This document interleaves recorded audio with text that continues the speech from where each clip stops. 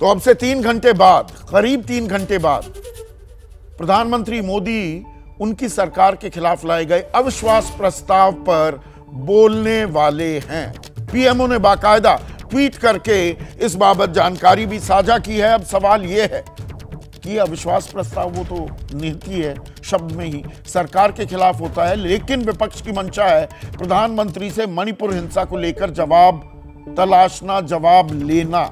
तो मणिपुर पर कितना वक्त बिताएँगे? और बाकी अपनी सरकार की उपलब्धियों का खाका क्या खींचते दिखाई देंगे? प्रधानमंत्री नरेंद्र मोदी, ये देखने वाली बात होगी। और उन्होंने आठ तारीख को जब यह अविश्वास प्रस्ताव पर चर्चा शुरू हुई थी, उससे पहले कहा था कि आखिरी बॉल पर छक्का मारने वाला हूँ तो वो किस तरह की बात होगी, ये देखना होगा। और यहाँ पर दिलचस्प है, कुछ आंकड़े आपसे साझा कर दूँ। क्योंकि ये दूसरा अविश्वास प्रस्ताव है। मोदी सरकार के खिलाफ 2018 में भी अविश्वास प्रस्ताव आया था और प्रधानमंत्री का भाषण 20 जुलाई 2018 को, वो रात नौ बज के सत्रह मिनट पर शुरू हुआ और ख़त्म हुआ था रात को दस बजकर अड़तालीस मिनट पर। इक्यानवे मिनट बोले थे प्रधानमंत्री मोदी और उसमें एक दिलचस्प बात यह भी थी वहाँ प्रधानमंत्री ने कहा कि प्रार्थना करता हूँ, वे आपको 2024 में फिर से अविश्वास प्रस्ताव लाने की शक्ति दें।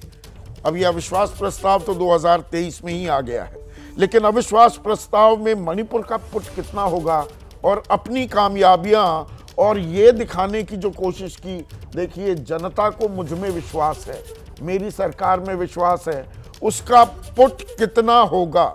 अभी हम लोकसभा चल रहे हैं, एक छोटा सा comment Bihar, Kerala, Telangana are all still keeping their fuel price high. West Bengal.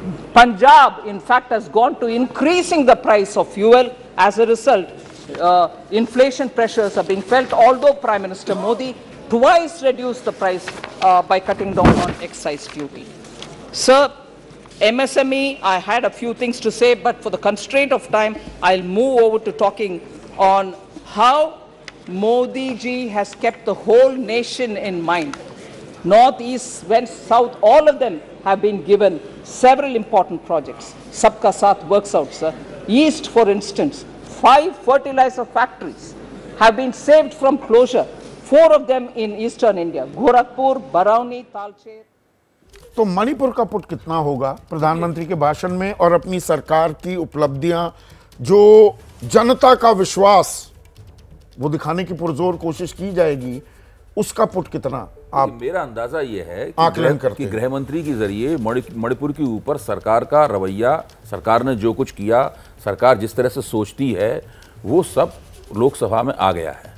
अब विपक्ष की तरफ़ से अगर गृह मंत्री के जवाब के ऊपर कोई बात कही जाएगी कोई आपत्ति होगी या कुछ बहस होगी या कोई, उसके कोई अंतर्विरोध उजागर होंगे तो हो सकता है कि प्रधानमंत्री के लिए कुछ बचे मणिपुर पे बोलने के लिए। लेकिन गृह मंत्री ने अपनी तरफ़ से ये सुनिश्चित किया है कि प्रधानमंत्री के प्रधानमंत्री के लिए मणिपुर पर बोलने के लिए कुछ नहीं बचना चाहिए।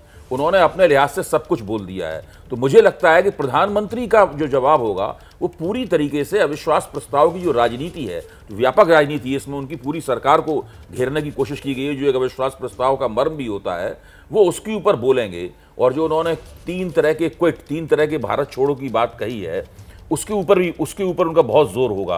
और मेरे ख्याल से भाजपा के तमाम परिवारवाद वंशवाद हाँ, हाँ, भ्रष्टाचार हाँ, इनके इनके ऊपर उनके ऊपर उनका बहुत ज़ोर होगा। और इसके ज़रिए वो जो सो कहते हैं कि आखिरी गेंद पर छक्का मारना तो वो उनके लिहाज से वो आखिरी गेंद पर ही छक्का होगा। लेकिन एक छोटी सी बात आपने मौका दिया तो मैं और कह दूँ। अमित शाह ने कल अपना वक्तव्य देते हुए कहा कि चार तारीख से पहले मणिपुर के सारे बड़े प्रशासक हटाए जा चुके थे और केंद्र ने सारे बड़े प्रशासक अपनी तरफ़ से वहाँ भेज दिए थे यह कहना ही अपने आप में इस बात का सबूत है कि चार तारीख के बाद जो वो घटना हुई जो बाद में वीडियो के ज़रिए हम लोगों के सामने आई हम्म। उस घटना पे पूरे महीने के अंदर पूरे मई के महीने में केंद्र द्वारा भेजे गए प्रशासकों ने केंद्र के सबसे बड़े अमले ने जिसका दिल्ली में जो आ, महिला आयोग है उसने भी उनका ध्यान दिलाया था उन्होंने उस पर क्या किया अगर उसी घटना को एक टेस्ट केस माना जाए, एक माना जाए कि यही एक नमूना, यही एक नमूना है, इसकी हम जाँच कर लें कि वहाँ पर केंद्र द्वारा केंद्र के भेजे गए जो प्रशासनिक नुमाइंदे थे, वो क्या कर रहे थे। उससे साफ़ होता है कि चाहे केंद्र सरकार हो चाहे वहाँ की राज्य सरकार हो दोनों पूरी तरीके से विफल हो गए हैं। दूसरे उन्होंने बार बार कहा नहीं इसमें एक और बात मैं जोड़ना चाहूँगा। चार बार बार चार मई का जो आप ज़िक्र कर रहे हैं चार मई को ये तीन महिलाएँ सरेराह सरेआम इनको नंगा किया गया। इनके प्राइवेट पार्ट्स के साथ छेड़छाड़ की गई। एक महिला का सामूहिक बलात्कार किया गया। ज़ीरो एफआईआर 18 मई को हुई। और जब 19 जुलाई को ये वीडियो सार्वजनिक होते हैं तो एन बीरेन सिंह कहते हैं कि ऐसी तो सैकड़ों हाँ, घटनाएँ बिल्कुल हुई बिल्कुल। हाँ, इन बातों पे हम लोग यहाँ एबीपी के मंच पे भी पहले भी चर्चा कर चुके हैं। मैंने इसलिए इन बातों को नहीं दोहराया। मैं ये कह रहा हूँ कि जब अमित शाह के वक्तव्य के मुताबिक हमें नहीं पता था ये उन्होंने हमें ये जानकारी दी कि हमने तो चार तारीख से पहले ही पूरा का पूरा अमला बदल दिया था। इसका मतलब कि जो मणिपुर की विफलता है उसमें केवल राज्य सरकार ही उसकी केवल अकेली जिम्मेदार नहीं रह जाती है। केंद्र सरकार भी सक्रिय रूप से उसमें पूरी तरह पूरी तरह उसकी जिम्मेदार है और उनको जवाब उसका देना चाहिए। और ये कहना कि वो कॉपरेट कर रहे थे। कॉपरेट शब्द उन्हीं का है कि वो सहयोग कर रहे थे, इसलिए उनको हटाने की कोई ज़रूरत नहीं है। मुझे तो बहुत ताज्जुब है कि ये कोई संहिता है, कोई कोई संवैधानिक संहिता है, कोई कानूनी संहिता है कि उसको, अगर कोई मुख्यमंत्री पूरी तरीके से अक्षम है, जिसकी अक्षमता लगातार बराबर बार बार प्रमाणित हो रही है, फिर भी आप कह रहे हैं चूँकि वो सहयोग कर रहा है, इसलिए हम उसको नहीं हटाएँगे। भाई, अगर पत्रकारिता कोई इमोशन नहीं है। ना अपना कोई ज्ञान देना है और ना कोई विचार थोपना है। पत्रकारिता क्या है? पत्रकारिता का मतलब है सही जानकारी इकट्ठा करना और तथ्य बताना। पत्रकारिता आज जितने महत्वपूर्ण दौर में है, शायद पहले नहीं थी। इस दौर से निकलने के लिए सिर्फ़ सच दिखाने की ज़रूरत है। वो सच जो आपके हित को आगे रखे। इसलिए अब रात नौ बजे प्राइम टाइम नहीं होगा। ये आपका टाइम है। जगविंदर पटियाल के साथ देखिए पब्लिक इंटरेस्ट 17 जुलाई से सोमवार से शुक्रवार रात 9 बजे, सिर्फ़ एबीपी न्यूज़ पर। एबीपी न्यूज़ आपको रखे आगे।